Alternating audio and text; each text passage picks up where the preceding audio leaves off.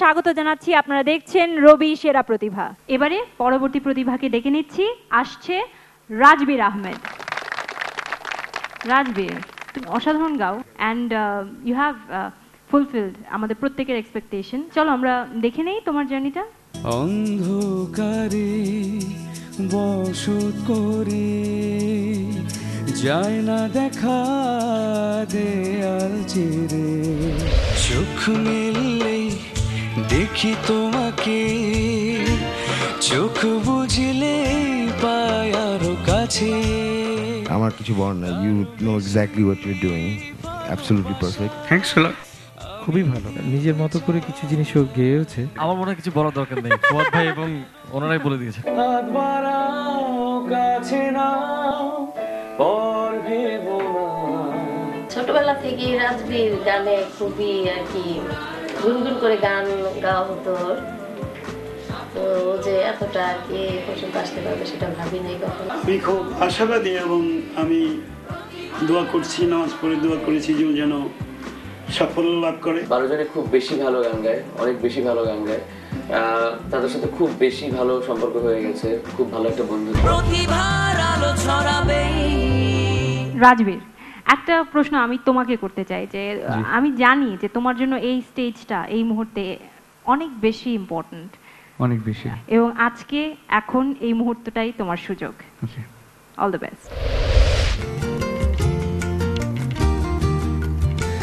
মন ভালো নেই বারে বারে মনে হয়।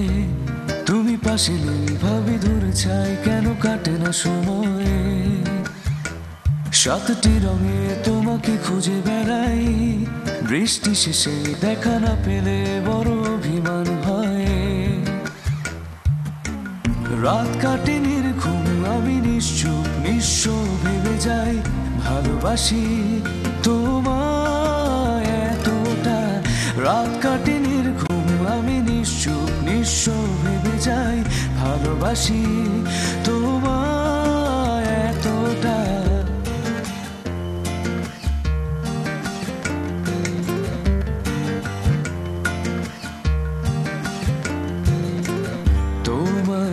হাসিতে হাজার ফুল ফুটে যায়। তুমি না আসলে হাসবে কে আমার বাগিচায়? তোমার জন্য বেদনার রং মেখেছি। বুকে সব স্মৃতিগুলো এক করে সুর বেঁধেছি। জানি তুমি আসবে আবারও জীবনে, কারণ ভালোবাসো আমায় এতটা। রাত কাটেনি আমি নিঃসুখ নিঃস্ব ভেবে যাই ভালোবাসি তোমায় এতটা। খুব সুন্দর ছিল। আমি একটু জাজদের কাছে প্রথমে যেতে চাচ্ছি। You're looking very smart and যেরকম স্মার্ট লাগছে সেরকম স্মার্টলি গানটাও গিয়েছেন। মাই প্লেজার অনেক দোয়া আপনার জন্য।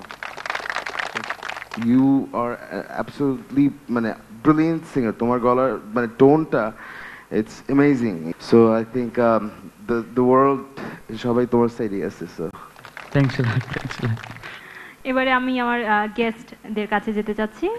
যেটা দেখলাম আর কি ওর যদি কোনো গার্লফ্রেন্ড থাকে আর গার্লফ্রেন্ড যদি কোনো কারণে রাগ করে মানে ও এত সুন্দর করে গান গাবে যে ওই গার্লফ্রেন্ডের রাগটাই চলে যাবে। এইটুকু আমি বলতে পারি।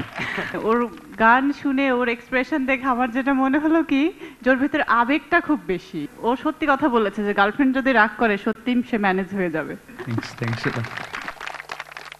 এবারে আসছে আমাদের পরবর্তী